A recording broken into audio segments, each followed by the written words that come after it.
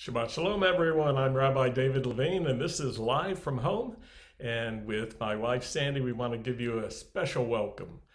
All of the Mishpacha at Beth Israel Messianic Synagogue, we're glad to be together and together with our podcast listeners from around the world and everyone who's been able to connect with us through Facebook Live. This is Erev Shabbat on Friday, May 22nd, 2020. And this evening, Brian and Deanne Rose will welcome us to their home and lead us in Hebrew prayers and worship. After that, Rabbi Yuri and I will return and we will study this week's Torah portion together and some other scriptures as well. And then we'll return to the Rose family home and we'll have a final worship song. So, right now, I want to invite you to hit the share button so you can let your friends know that this is a good time to join in with us. And also, if you like what we're doing, please hit the like and the follow buttons. And another invitation join in with your comments. We consider it a wonderful privilege that you would join us today, and we'd love to hear from you. And we want to give special greetings to our international friends. So if you're watching, live tonight and you are not in Jacksonville, Florida, let us hear from you and let us know where you are from, where you're uh, watching tonight. And we'll just be so glad to hear from you. This Shabbat is a fantastic time of joy and anticipation as we're counting our days towards Shavuot next week, a wonderful time of the year. So, from Sandy and me, we say Shabbat Shalom. Now, let's join the Rose family and live from home. Shabbat Shalom, everyone. Welcome to Beth Israel live from home. My name is Deanne Rose, and I am going to be ushering in the Shabbat with the lighting of the candles. Please join me, ladies.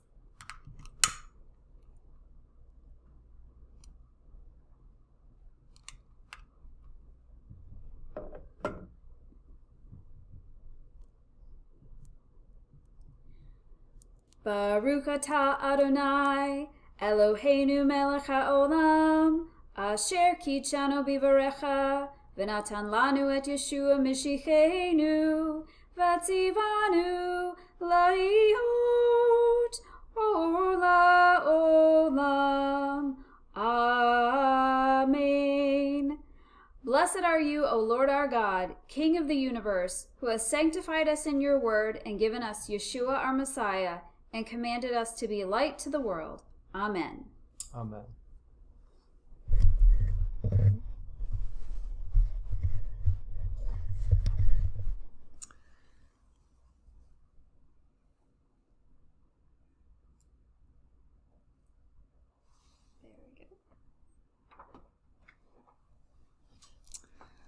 Well, hello everyone. Good evening. Welcome. And let's continue our service together with our beautiful Shema. Shema Yisrael Adonai Eloheinu Adonai Echad. Baruch Shem Kevod Malchuto Leolam Vaed. Hear, O Israel, the Lord is our God, the Lord is one. Blessed is the name of his glorious kingdom for all eternity. Amen. And now the Veshamru. The children of Israel shall keep the Shabbat, observing it throughout their generations as an everlasting covenant. It is a sign between me and the children of Israel forever. For in six days the Lord made the heavens and the earth, and on the seventh day he rested and was refreshed. And it shall come to pass that from one new moon to another, and from one Shabbat to another, all flesh shall come to worship before me, says the Lord. Veshamru v'nei Israel et Hashabbat Lasot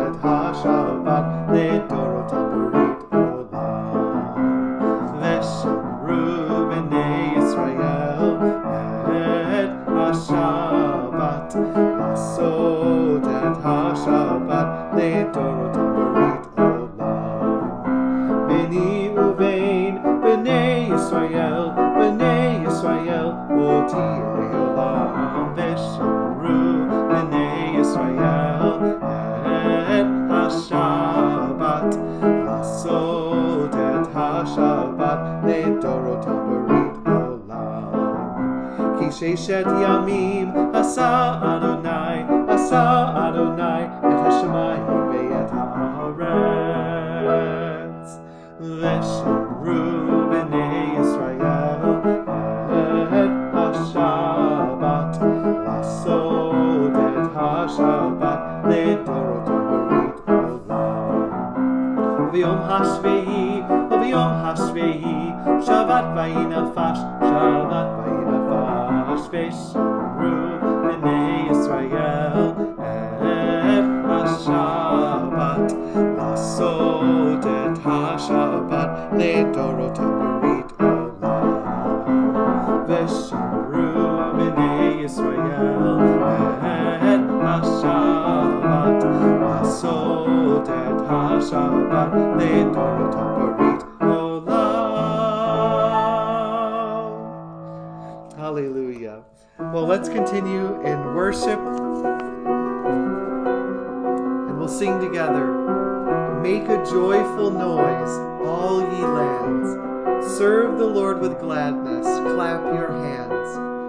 Come into his presence singing.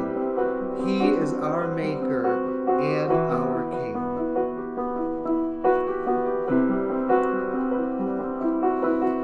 Make a joyful noise, all ye lands. Serve the Lord with gladness, clap your hands. Come into his presence singing. He is our Maker and our King. So enter his gates with thanksgiving, enter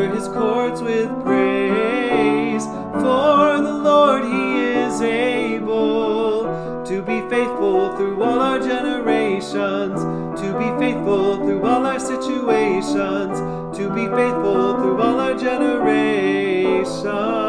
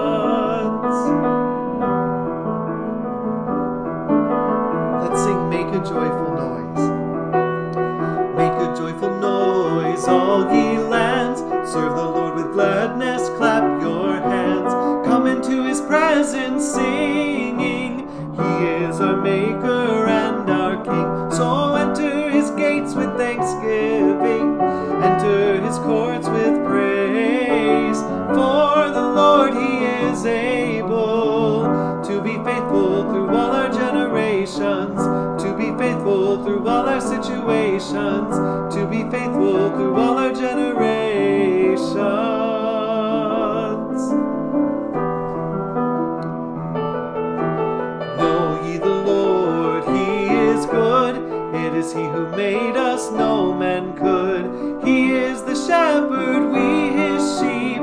I know the Lord watches over me. So enter His gates with thanksgiving, enter His courts with praise. For the Lord, He is able to be faithful through all our generations, to be faithful through all our situations, to be faithful through all our generations.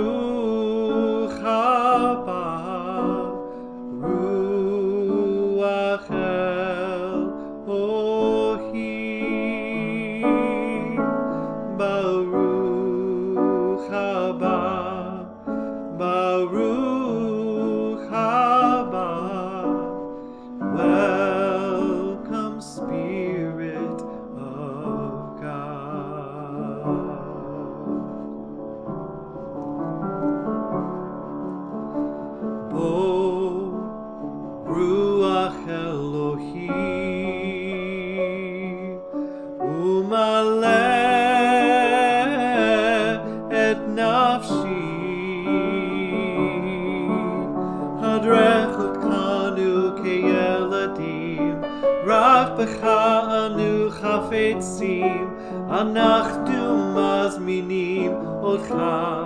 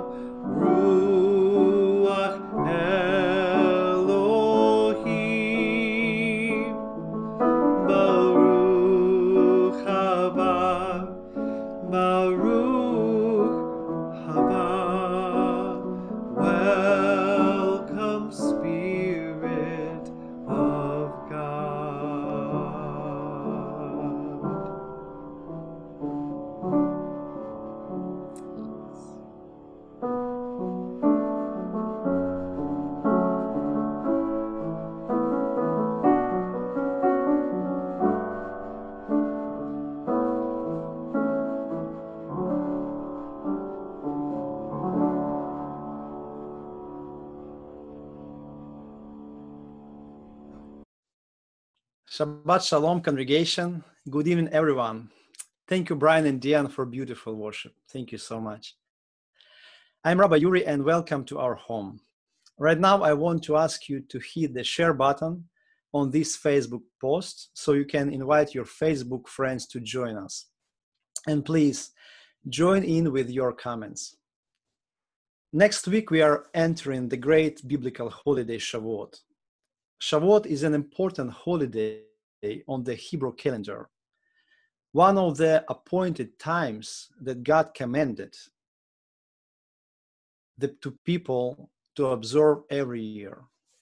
According to Jewish tradition, it was upon this very day that God gave the Torah on Sinai. And it was also on Shavuot, the same day on the calendar, that the Holy Spirit first fell upon the disciples in Jerusalem 2000 years ago. It is such a great day. Today's chapter from, from the Torah teaches us about a very important topic and shows how the topic related to Shavuot, relates to Shavuot. And I would like to read from Numbers chapter 2, and please open scriptures with us. It is number chapter 2, Numbers chapter 2, verse 1 and 2. And let's read together. Numbers chapter 2, verse 1 and 2. And again, please be careful here. Adonai said to Moses and Aaron, saying, So it was not an idea of Moses, it was not an idea of Aaron, it was Adonai, the Lord, who is saying to Moses and Aaron. Verse 2 Let each man encamp under his own standard among the banners of their ancestral house at an appropriate distance around the tent of meeting. And in the same chapter, verse 17, Numbers 2 17, because it's very uh, interesting places of scripture there together. Then the tent of meeting will move out with the camp of the Levites, which is in the middle of the camps. Just as they were in camp, each person in his own place, under his own appropriate standard. So interesting. And the whole chapter from the Torah speaks of the order that the Lord established within the camp of Israel. Whole chapter, whole Torah portion. When I read this, it reminds me of a place from Brita Hadashah, from New Testament. It's a very beautiful place in First Corinthians chapter 14. First Corinthians chapter 14, verse 33. Because God is not a God of disorder, but of peace. Please think about it. Because God is not a God of disorder, but of peace. This happens in all the congregations of God's people. Last Shabbat, we talked about God's peace, the shalom that fills our hearts. The Lord filled us with His shalom to guide us, to protect us, and bring God's order into our lives. Because God, not a God of disorder, but He is the Lord of order. Obviously, God's shalom, His peace brings order and structure in our, into our lives, into our hearts. And this is very important to remember each tribe of Israel was to be in its own special place. It is so important. Everyone knew where his place was and what he should do. There was no disorder and aimlessness. When the sons of Israel walked through the wilderness in their tribes, there was an absolute order, and the Lord Himself arranged it the Lord was an artist, a master. He arranged this order for himself. There is a very remarkable place in scriptures in the Torah, and it's a number chapter 24, Numbers chapter 24, in the second uh, verse and five and six verse also. Numbers 24, verse 2 lifting up his eyes, Balaam saw Israel dwelling by tribes. So we know the story of Balaam. He was an enemy of Israel. So he saw Israel dwelling by tribes. The Ruach Elohim came over him. And he's praying, verse 5. This is his words, words of enemy of Israel. How lovely are your tents, O Jacob, and your dwellings, O Israel. Like valleys, they are spread out, like gardens beside a river, like aloes planted by Adonai, like cedars beside the waters. Please think about it for one second. Even the enemy of Israel the false prophet Balaam recognized that Israel is beautiful, arranged in perfect order. Even the enemy of Israel. But most amazing detail about this spectacular sight that the Lord who created this order placed himself at the very center of his own arrangement. He was in the middle, in the center of this beauty.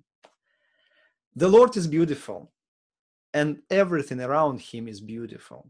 His presence brings beauty. All the camps of the people of Israel were built around the most significant feature in the arrangement the tabernacle of the covenant, in which the presence of God dwelt. What a deep meaning we see in today's chapter from the Torah. What a beautiful meaning. The Lord lives in the middle of Israel. Please, I would, I would like to capture your attention here. Please bear with me. The Lord lives in the middle of Israel, and where He is, there is no opportunity for chaos or disorder. We can see only the beauty of His orderliness, the splendor of His structure. And all the nations who looked upon Israel were astonished at the beauty of such precision. And in, and in the center of it all was the Lord Himself. He was in the middle of this beauty. He's a beautiful Lord. Yeah, I know that we are not, we're all not perfect people, all of us. We still have many areas in life that we need healing from the Lord. We need the Lord to bring His order from Him in His peace, in His shalom. And let us allow Him to do that. It is so important for us. We can be encouraged by the life and ministry of our Lord and the Messiah, Yeshua. And I know that everything is possible for Him. He brings healing and restoration in the lives of millions of people today, right now, delivering them from sin and disease. I want to read from Luke chapter 19, verse 1 and 10. And please open scriptures with me. It's Luke chapter 19, verse 1 and 10. It is a very important, meaningful story, important to remember for all of us because when we lose our hope, He is our hope.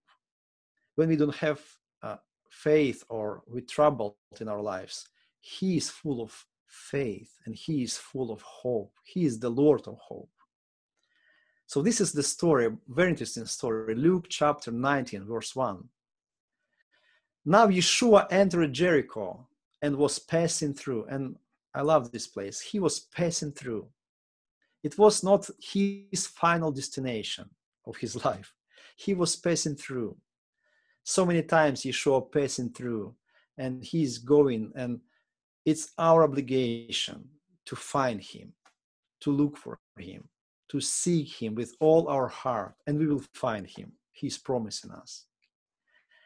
So he's passing, passing through Jericho. And verse 2 And here was a man by the name of Zacchaeus. Here was a man, one of the thousands people around him. Name of Zacchaeus. And now we know about this man. He's famous man. Why? Because he was able to find Yeshua. He was a chief tax collector and he was rich. If Bible says he was rich, it's literally he was rich. Zacchaeus was trying to see who Yeshua was, but he couldn't because of the crowd, for he was short in height.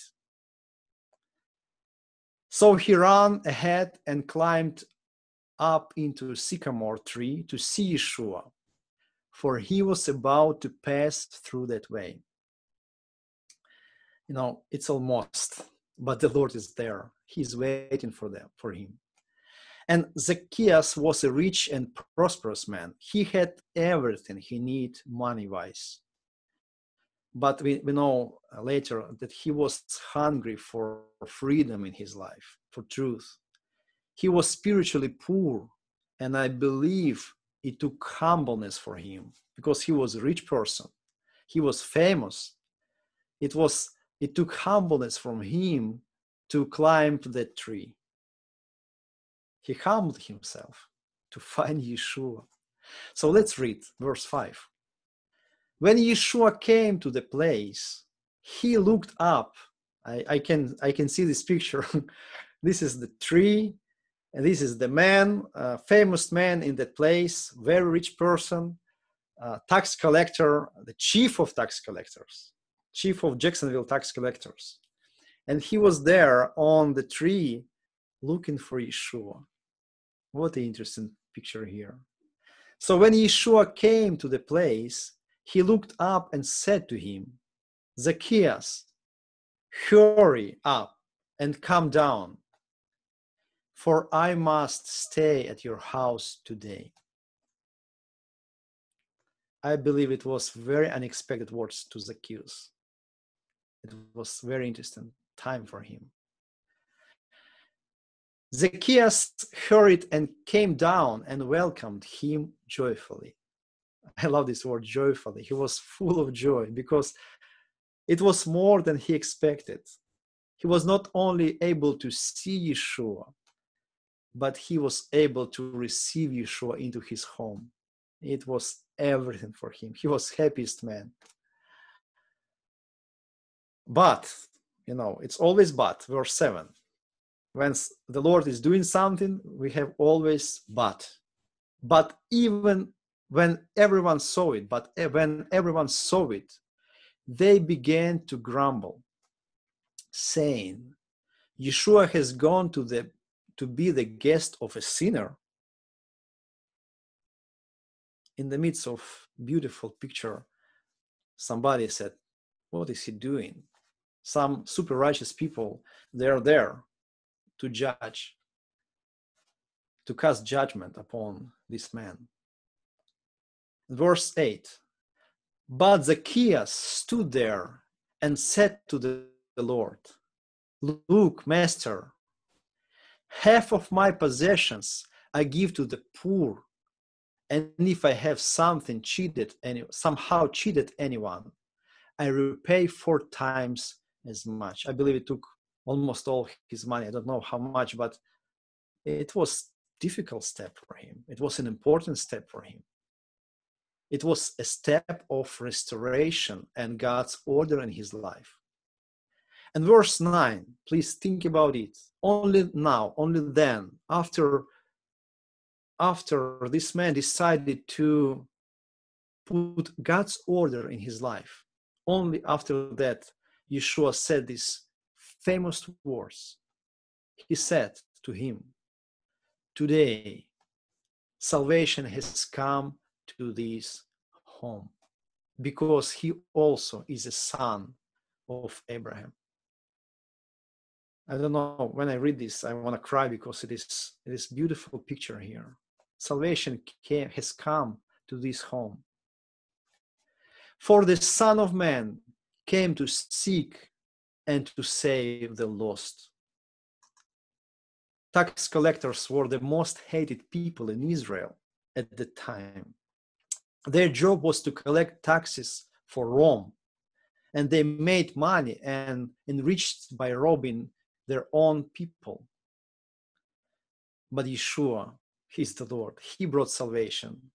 And in salvation, in the salvation, because salvation is not only salvation of our soul or our spirit, but it is salvation of our life.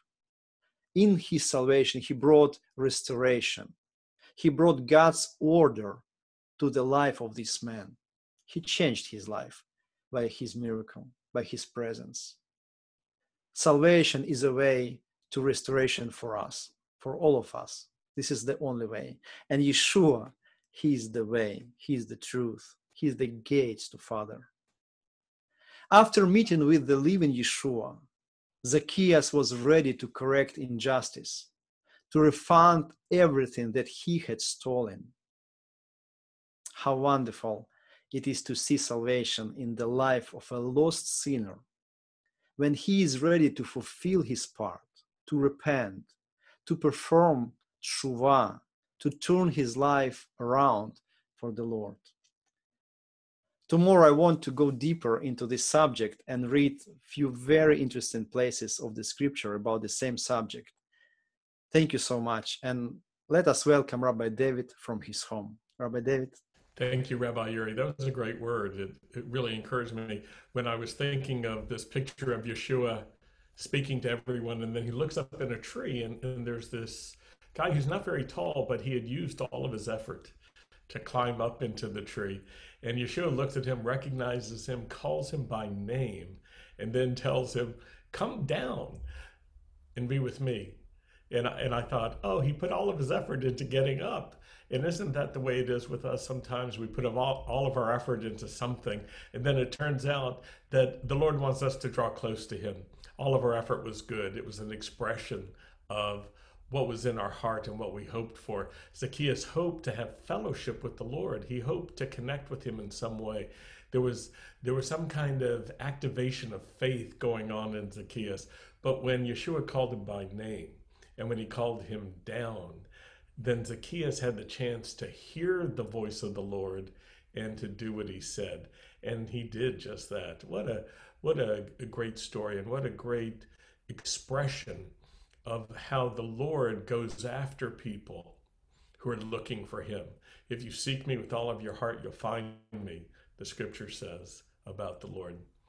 Well, this was a wonderful message from Rabbi Uri. I look forward to tomorrow's installment as well. Don't forget to to join us tomorrow morning at 10:30 for another segment of Live from Home. We'll have more worship. We'll hear more from Rabbi Uri, and I'll continue to share as well. And I do have something I want to share with you, but before I share from the scriptures, I, I want to wish my wife happy anniversary. Tomorrow is our 44th anniversary, and I want to right a wrong from our past. You see, um, Sandy had really hoped that I would propose to her on the radio because I was a newsman in Roanoke, Virginia, where we lived on WROV. And I didn't do it. But right now, I want to ask Sandy, would you marry me? Well, actually, I know you will, but I don't know how to fix it. So I'm going to ask you again, please marry me. And then let's apply this backwards. And if you say yes, I'll be very happy. Actually, I'm very happy that we've been married. Tomorrow will be 44 years, a wonderful marriage that we have together. And Sandy is my best friend and companion and um, my most trusted cohort with the Lord. So I love you, Sandy, and happy anniversary tomorrow. Hey, everyone who's out of town and watching with us right now, why don't we, uh, why don't you share with us where you're from if you haven't already? We love to hear from our out of town friends, and um, it's great if you would also share what city or state or country that you're from. I have a few prayer requests as well we want to pray for Willie Woods, Florence's husband. He is in the hospital right now. He's losing blood. He's getting an emergency transfusion. And Flo let me know about this, and I asked if it would be okay for us to pray for him. He'll be at um, admitted to Mayo Hospital in Jacksonville today. So let's lift up Willie, Lord. We we pray for Willie right now, and we pray for a life to return to him. We pray for the transfusion. We pray also for whatever is going on in his body, causing him to have a loss of blood. We know that there's life in the blood, Lord, and we pray, Lord, that you would impart life to him and you would restore life to him in the name of Yeshua. We also want to pray for Elizabeth Stone. She is going to be having surgery this coming week on her spine and neck, and it's um, it's, it's quite a delicate surgery, so we want to pray for her. Lord, we lift Elizabeth up to you right now in the name of Yeshua. And we pray for safety for her, and we pray for good results. Lord, I pray for healing for her, for a, a wonderful process with careful surgery without any complications whatsoever. And I pray, Lord, for restoration for her, even as she has repairs to her spine, her vertebra, to the discs. Lord, let there be protection for the nerves and all of the delicate parts there. In Yeshua's name we pray. Amen. Everyone, I thank you for joining in prayer with us because we're called to be a house of prayer. Yeshua said that about his house. My house will be a house of prayer. And one of the ways we do that is we take time during our Shabbat services, normally when we're gathering at the synagogue sanctuary, to pray for specific people about spe- specific things as part of our the life of our mishpacha. And so this is one of the things that we normally do when we are together. And those of you who listen by podcast, you may not ever get to hear the whole thing or see the whole thing that we're doing in the sanctuary, but tonight you can. One more family we want to pray for. We want to pray for continued outpouring of comfort and condolence for Rad and Jill and the whole Akawi family. Rad's mom, Irene, passed away today, and our hearts go out to them. And I talked with Rad this afternoon, and he told me how it was truly a glorious thing that the Lord was present with his mom and with the whole family as they gathered together. And he described to me what happened when they prayed for the Lord to receive his mom. And then she breathed her last breath and she was gone and she was with the Lord. It was a, a beautiful description that he gave. And, and Rad told me about how the Lord gave him courage and faith and peace and is continuing to comfort him even right now. And we just want to pray for Rad and his family now. Lord, we lift Rad up to you and we thank you for your mercy being done. Thank you for the heart of service that you gave him and the redemptive position that he and his whole family took with his mom. You restore even what the locust and the cankerworm have eaten. Thank you for your mercies, which are new every morning, and the way that you express that mercy, we're just so grateful for. And we ask that you would send your Holy Spirit even now, tonight, to the families they're gathering together, and you would pour out comfort in Yeshua's name. Amen. Well, whenever we're in the synagogue sanctuary, I always like to begin our study portion with a prayer. Asher Torah. Blessed are you, Lord our God, King of the universe, who sanctifies us with his commands and commands us to engross ourselves in the words of Torah. Amen. As we are anticipating Shavuot, uh, this Shabbat is a good time to consider Yeshua and the Holy Spirit. Shavuot will take place next week. And, and I want to talk about some challenging thoughts about Yeshua as a man and about the Holy Spirit as God. And tonight, I, I, want you to join me in thinking about Yeshua the man, because the story is really important. God came down to be with humanity. God came down, He took on a human body, and He joined humanity in order to live with us, in order to become a kinsman redeemer for the sake of our own redemption, we needed one who was part of our family to redeem us. That part of the law of God is revealed in the Torah. And Yeshua, Yeshua made himself, how can we put it? He made himself small. Is that a way to put it? We could we could use a Hebrew word that describes it, tzimtzum. This is a Hebrew concept that really isn't found in, in Christian uh, categories of thought. But tzimtzum is is applied to God this way. It means that God restrained himself, or he made himself small, or he he put some limitations on himself as sovereign. He could do that.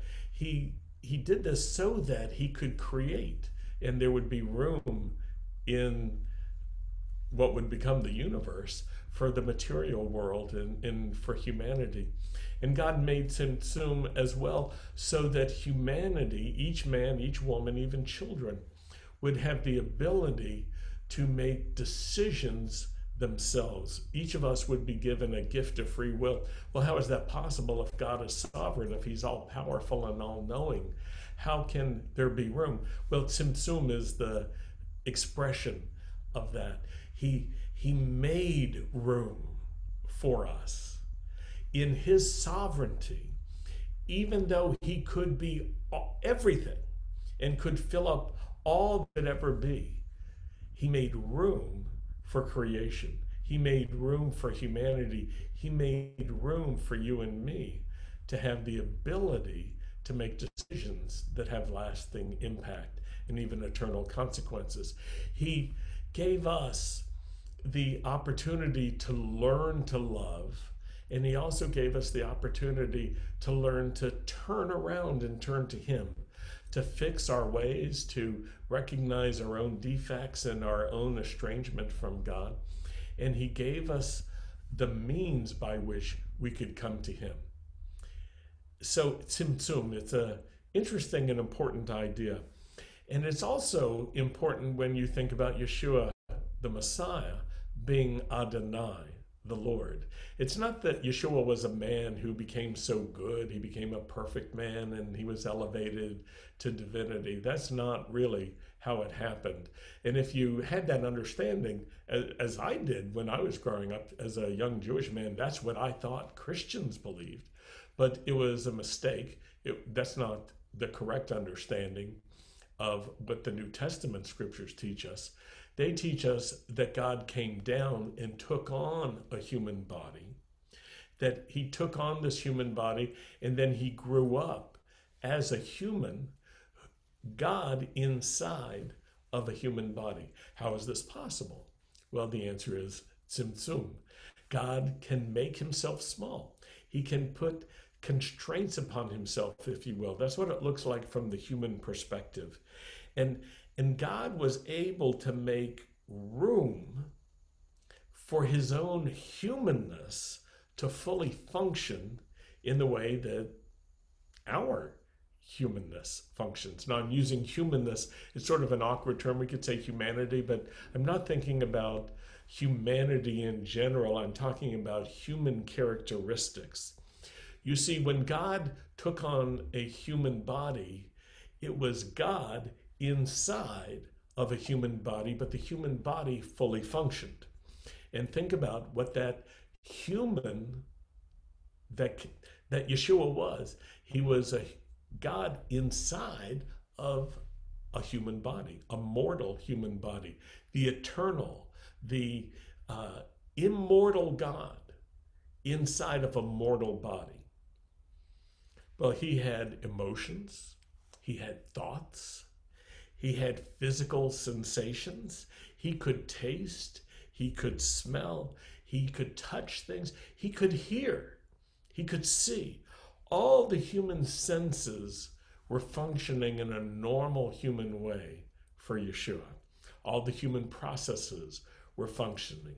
He could get hungry and need to eat. But those functions that God has given us that are part of our human being, if you will, they're not meant to rule over us. They are meant to be in service to our life on this earth and our life with God.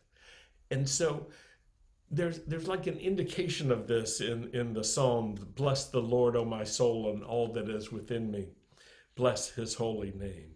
You see, the psalmist knew that our soul and our spirit have higher authority than our senses. And there are times when we need to allow our spirit and soul to exercise authority, to have higher authority than what our normal human senses would have. Now, I, I want to ask you to join me in a look at a passage in Isaiah. It's Isaiah chapter 11, the first five verses. And we'll just be reading um, this together, and I'll stop and pause at, at times in order to make some comments. It starts this way Isaiah 11, 1. Then a tender shoot will spring from the stump of Jesse, and a branch from his roots will bear fruit. So the picture is there is a stump of Jesse. Jesse is like a tree or a strong vine that has uh, become thick, but it's been cut down.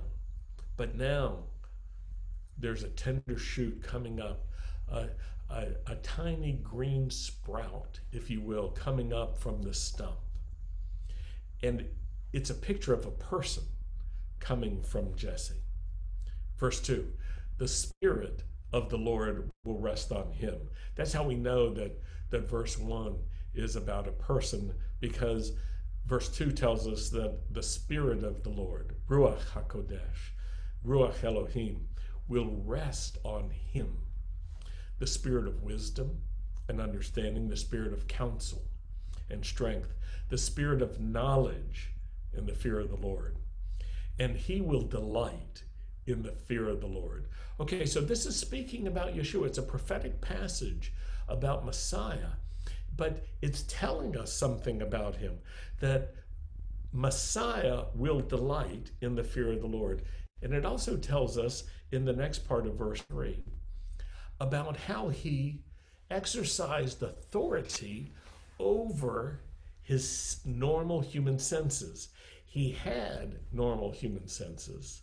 He could feel, he could think, he could see, he could hear, but he used them in a very specific way. This is what it says He will delight in the fear of the Lord, and he will not judge by what his eyes see, nor make a decision by what his ears hear. He doesn't depend on his senses alone, not his visual sense, his eyes, not his aural sense, his ears. And this is so useful for us to learn about. Messiah in a human body, when he walked among us, when he saw Zacchaeus in the tree, when he heard from Zacchaeus, he could see, he could hear, he had those normal senses. But this is what's interesting about Messiah. He did not only depend on his human senses. His senses were there, they were functioning, they were useful for him. He was in a human body with real human sensation and sense. Verse 4 tells us that he won't judge by what his eyes see or decide by what his ears hear, but, verse 4, with righteousness he will judge the poor and he will decide with fairness or justice for the afflicted of the earth. Righteousness and fairness will give a, will, will give in a sense a higher voice. They will give another perspective to Yeshua and he will accomplish justice for the poor and for the afflicted. So now we know something about him. Even though he comes with a human body, even though his humanity was established, even though he was fully a man, he did not allow his senses to have the very last word. They functioned, they contributed to his understanding. He thought, he felt, he saw, he had all the normal sensations, but righteousness and justice were higher, and he subordinated his senses to the, the perfect sensations that God had. Now look at the next part of verse 4. He will strike the earth with the rod of his mouth, and with the breath of his lips he will slay the wicked. And I want you to focus on one detail. This is an expression of the authority that he has. He has the authority to strike the earth with his own mouth and to slay the wicked. What incredible authority. But he sometimes would restrain himself, as we can see. When he had fellowship with Zacchaeus, he wasn't there to judge Zacchaeus. When he communicated with the sick, the poor, the, the sinner, the prostitute, the tax collector, his goal was to restore and to revive, not to judge and condemn. He uses his authority to build up, not to tear down. Now it says also about him in verse 5 righteousness will be the belt about his loins and faithfulness, the belt about his waist. And I think this passage and these references inspired Paul when he was writing about spiritual armor in Ephesians chapter 6. So Yeshua was, was God inside of a human body. It's so fascinating. When, when he was crucified, he suffered because all of his senses were working, all of his bodily senses were working. And yet, What died was his human body, his mortal body, and that was then resurrected. Did the Spirit of God die? No. Did the eternal God die? No. God became a kinsman redeemer. Tzimtzum is, I think, a great explanation for that. He made himself small and limited in such a way that he could come down and be with us. He made himself small so that he could enter into the life we have. But then he showed us something. He kept his eyes on the Father. He only said what he heard the Father saying. He only did what he saw the Father doing. Now, why did he put it this way? Because his humanity, his humanness, and all of his sensations needed to be subordinated. They needed to be, um, they were a factor that he had to deal with. He was inside of a human body, and what if he allowed his sensations to have the last word? Well, he, like you or like me, would come to wrong conclusions, would feel the wrong thing and think, oh, that's the correct thing. You know how our emotions are not reliable? They can be sometimes correct, they sometimes are discerning. Same with our thought process, and, and our intellect can be wise and can be discerning, but neither our intellect nor our emotions nor any part of our personality is perfect. And they can mislead us. The heart the scripture says, is deceitful. And it can mislead us. And it can't be trusted. Even though we depend on it, it can't be trusted. Yeshua was inside of a human body and form that had all of those things functioning, and he needed a way of staying connected to God that would be a model for human beings. How did he do it? He kept connected to the Father. He watched the Father. He listened to the Father. He didn't only listen to the words that others were saying, he didn't only judge by what his eyes, his human eyes, were saying. He allowed himself to connect with God in a way that became a model for us. You see, when Yeshua paid the price for us, when he died on the cross and then he descended into the the the lower world to rescue those who were waiting for him. It's an amazing thing what he was doing. He was redeeming us, and this was part of the messianic mandate, if you will. This was part of what Messiah was called to do, but it was not only what Messiah was called to do. Messiah also had, after having completed that, having been resurrected and then glorified, had to return to heaven in order to send the Holy Spirit down to the earth in order to fill up human beings. You see, Yeshua was like a prototype, God taking up residence inside of a human body. He was a prototype of what God wanted to do for all humanity. And when Yeshua returned to heaven, he had that experience and that knowledge of what it's like to live inside this frail and fragile and unreliable human body, and yet a body that can sense so much, and a body that can actually be the container for our spirit and soul. And it's this humanity, this humanness that God has given us that has to learn to love God and has to learn to trust God. Yeshua demonstrated for us how to do it. And when he returned to heaven, something had changed in the whole dynamics of eternity and the temporal, the time and space world. Because Yeshua had accomplished redemption. He had made it possible now for the Spirit of God to be sent from heaven down to earth to take up residence in you and me. Our humanness needs the Spirit of God. You see, what's, what's the protection for you and for me?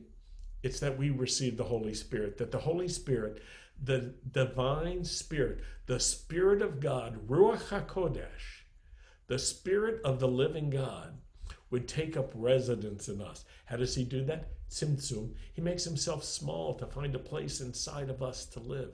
He lives inside of our hearts, inside of our being. in all that we are. He lives in our minds. He lives in all of our humanness again. Yeshua demonstrated what it's like when God does something in this fashion. And he gave us a pattern for it. Now, here's the thing that's different about us and Yeshua. Yeshua had a human body. You and I have a human body. So, in that regard, we're equal. But Yeshua was God fully who took up residence inside of a human body. And you and I are not God fully, but when we receive the Holy Spirit, the Spirit of God, who is fully God, takes up his place in us. We want to give him a bigger and bigger place, a stronger and stronger place in us. We want him to have more and more authority in us. And we actually need the Holy Spirit and as we're coming close to the Lord and as our sins are forgiven through Messiah, we recognize that there's a broken aspect to our spirit. Our, our spirit is, is infirmed, if you will. It's like congested arteries or a tooth with a cavity or a sprained ankle.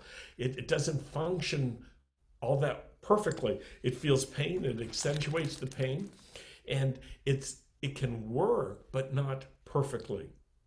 How did Yeshua deal with these limitations of his human nature, he submitted his human nature under the Father. How did he do that? He drew close to the Father. He recognized God the Father, perfect in his holiness. God the Father is God without the constraints of a human body or form. And he's utterly perfect in his holiness.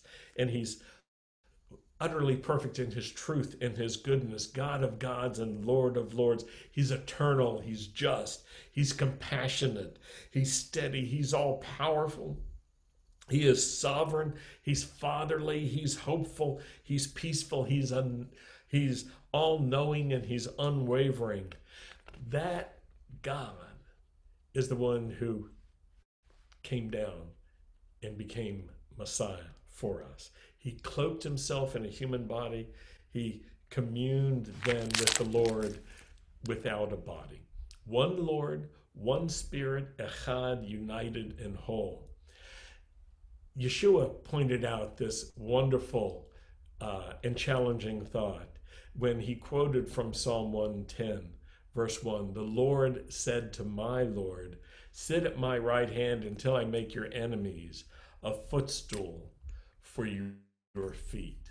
It was a prophetic passage that David wrote in the Psalms.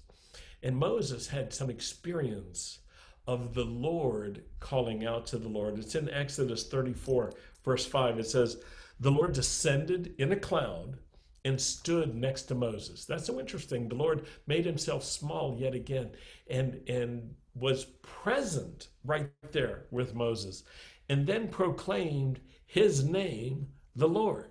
And then the Lord passed in front of Moses and he called out, The Lord, the Lord, God, who is compassionate and gracious, slow to anger, abounding in loving devotion and faithfulness.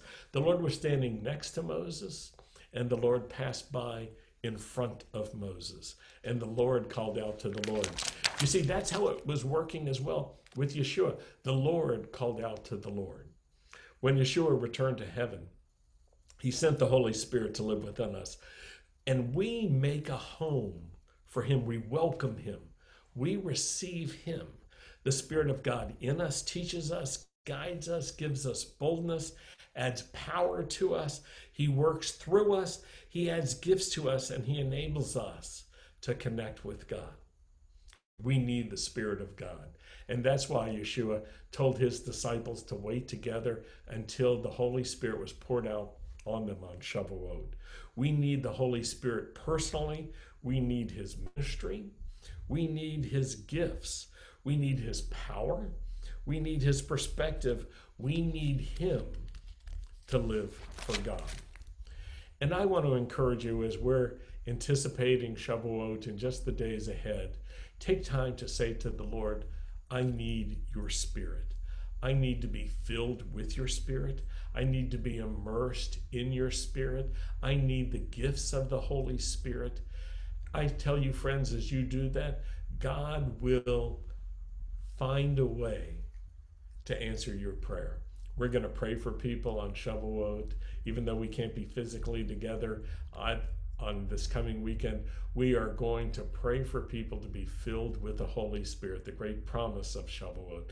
So next next week, be prepared for that. We want to pray for you, even during our services, and we want to connect with you and let you have the wonderful joy of being filled with the Holy Spirit, of being immersed or baptized with the Holy Spirit, and receiving gifts from the Holy Spirit. You really can't live without the Spirit of God the way that God has in mind for you.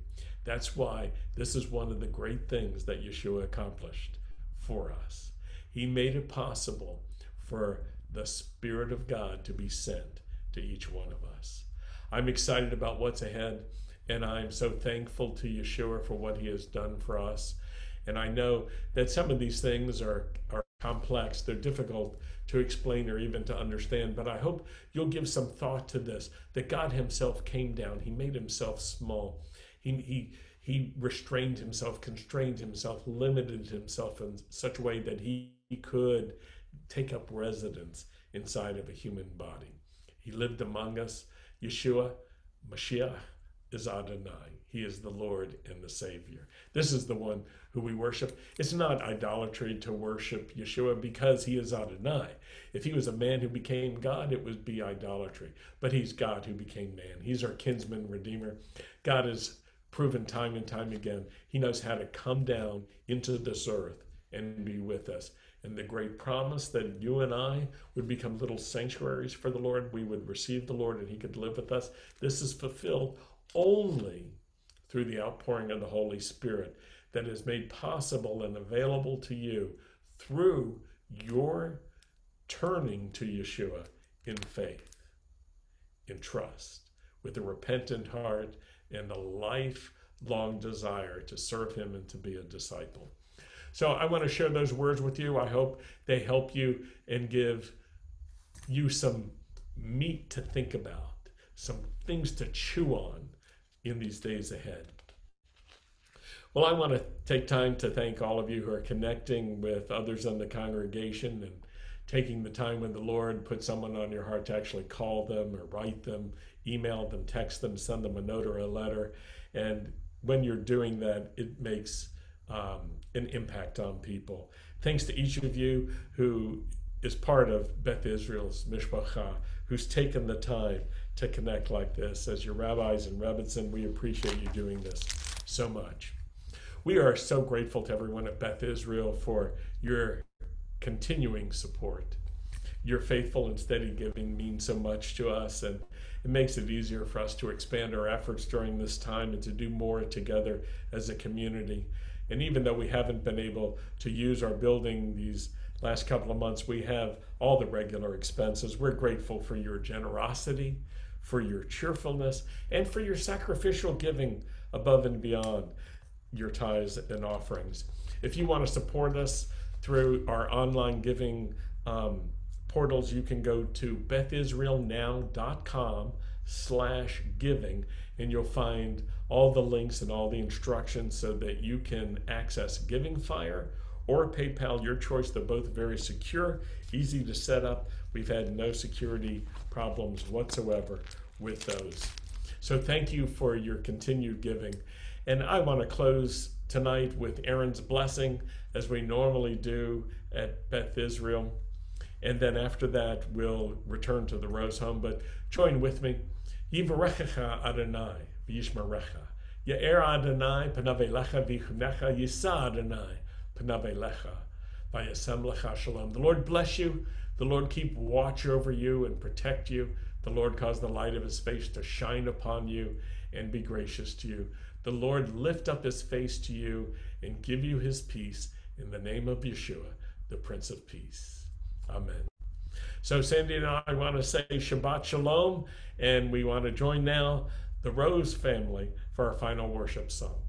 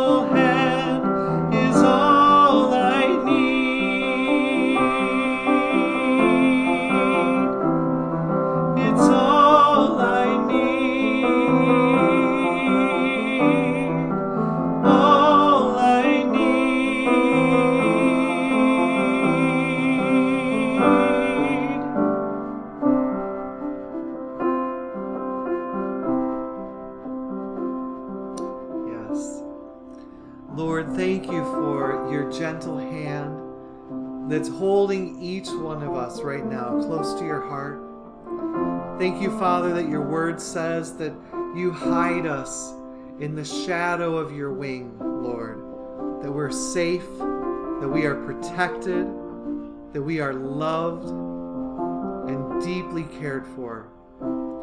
Father, I pray, Lord, for everyone who's in need of your comfort, everyone who's in need of your companionship.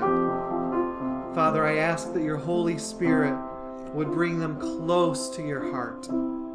I pray, Father, that each person who needs a touch from you would receive that special touch, Lord.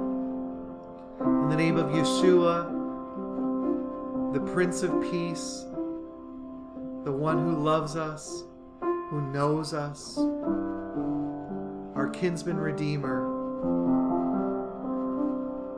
Thank you, Father. Thank you, Lord.